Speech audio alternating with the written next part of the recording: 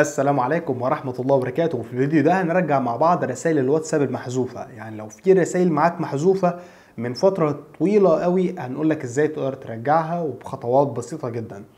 أنا في فيديو فات شرحته آه، قلت لك برضو إزاي ترجع فيه رسائل الواتساب هتلاقيه موجود في التعليقات.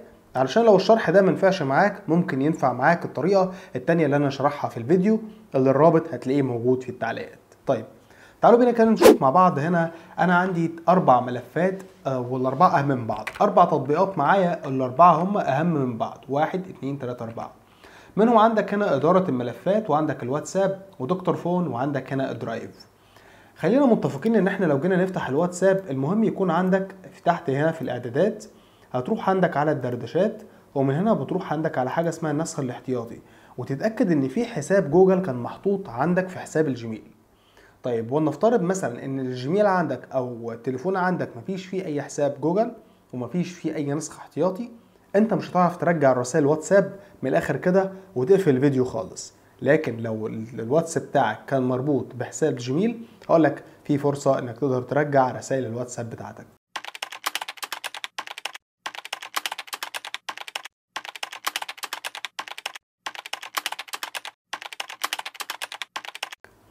كل عليك بس في طريقتين تقدر تعملهم. الطريقة الأولى وإنك تمسح الواتساب خالص تعمل له إزالة وتنزل الواتساب بس بعد ما تحط حساب الجيميل عندك على التليفون. والطريقة التانية إنك تكون منزل تطبيق اسمه Dr. Fone. يعني لو جيت أخش على التطبيق كده التطبيق ده بيقدر يسترجع لي ملفات الواتساب. لو جيت ترجع خطوة كده ورا وخطوتين كده وتقول له هنا آه، حاجة اسمها الاسترداد بيبدأ يظهر لك الملفات اللي هي كانت محذوفة عندك. سواء بقى كان ملفات صور أو مقاطع فيديو أو ملفات اللي هي بأي صيغة أنت عاوزها. دي كده استرجع لي ملفات الواتساب. الملفات دي كان بصيغة OPUS والملفات دي عبارة عن مسجلات صوت- صوتية أو ريكورد بتاعت الواتساب. يعني تطبيق 10 على 10 هيقدر يساعدك إنك ترجع أصلا محادثات الواتساب كلها. طيب هي محادثات الواتساب دي بتكون فين الأول؟ بتكون في حاجتين عندك في ال Drive وعندك في من إدارة الملفات هنا.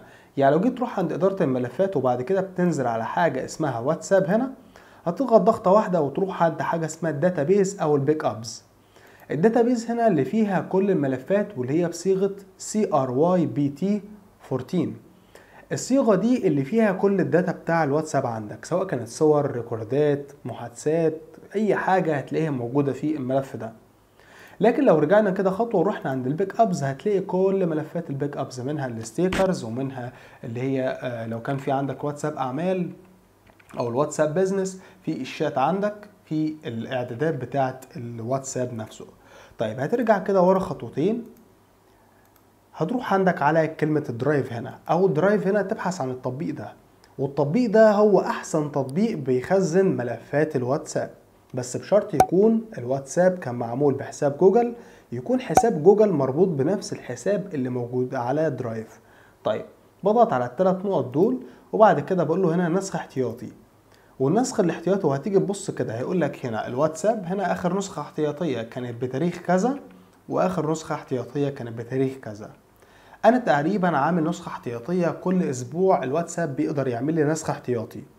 طيب دلوقتي المفروض عليا إن أنا أعمل إيه؟ أنا ما فهمتش حاجة.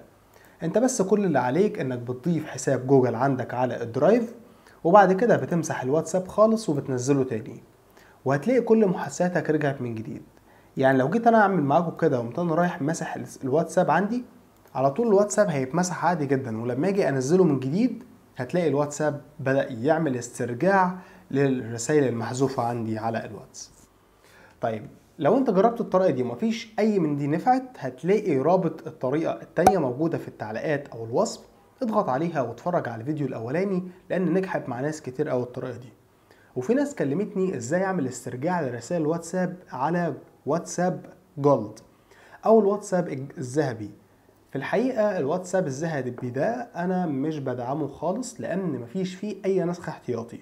لكن في طريقة واحدة بس واللي أنا هشرحها إن شاء الله في الفيديو اللي جاي. بس ما تنساش تعمل like و subscribe للقناة.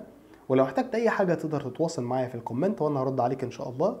وأشوفكم في حلقة جديدة ومع السلامة.